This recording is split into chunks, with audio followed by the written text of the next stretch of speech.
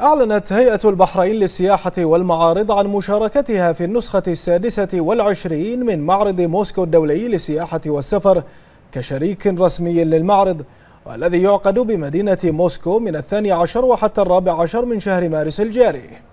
وذلك ضمن جهودها الرامية لتعزيز مكانة مملكة البحرين كوجهة متميزة على خريطة السياحة الإقليمية والعالمية.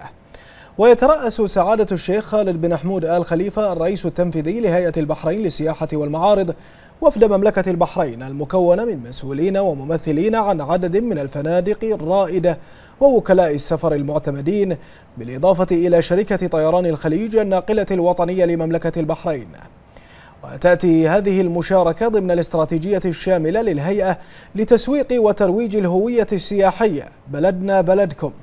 والتي تركز على ترويج المنتج السياحي البحريني على المستوى الإقليمي والعالمي بهدف إبراز المقومات السياحية في المملكة ودعم الجهود الحثيثة التي تركز على تعزيز إسهامات القطاع بشكل إيجابي في الناتج المحلي بالتوافق مع رؤية المملكة الاقتصادية 2030